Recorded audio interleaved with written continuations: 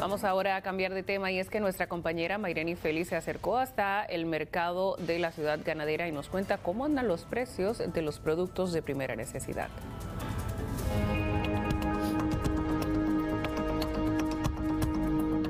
Ha mantenido el precio. Aquí hay que todos los productos aparecen aquí. Sí, todo. Que hay muchos productos. Aquí lo que hay pocos consumidores ahora mismo, pero hay muchos productos de más. ¿Han venido pocos clientes? Sí, pocos clientes, no se sabe si es la situación que lo ha puesto así. Están todo normal, Eh, la batata está un poco escasa, parece que tuvo mucha demanda, pero después está todo normal, normal. Algunos productos, están- sí, el ñame, el ñame es bueno, está escaso, pero aparece, sí, no el blanco. Aquí solo comercializamos el blanco porque el amarillo se quedan con ellos en el campo.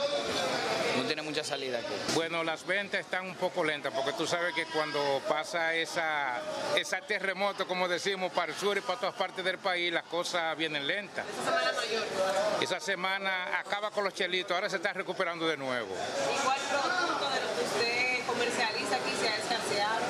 No, los productos todos están llegando igual porque nosotros no abastecimos suficientemente y ya del lunes en adelante han seguido llegando los productos.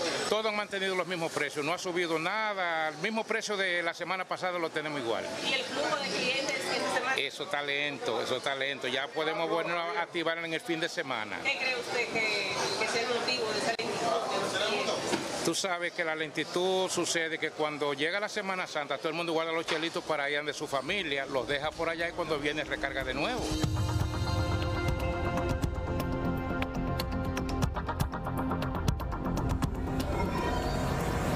Yo sé, el, el huevo está aquí ahora mismo. Yo vine a comprar un cartón de huevo, 180 pesos. La venta está un poco media bajita por el motivo de Semana Santa y esa cosa, pero todo está bien, gracias a Dios. La yautía, ¿qué precio tiene? ¿Ha subido o bajado? ¿Es No. uno de los productos que más caro está actualmente? Eh, estaban caros, pero ya han bajado un poco ya.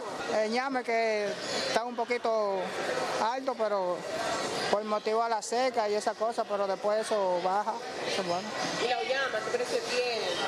Eso está barato. Está bueno, se Sí, encuentra, hay muchas. sí, hay un, aparece. Los comerciantes aseguraron una baja en el flujo de clientes en lo que lo relacionan con la Semana Santa, ya que las personas se fueron de vacaciones y ahora en esta nueva semana vienen a reponerse y abastecerse de productos en este mercado.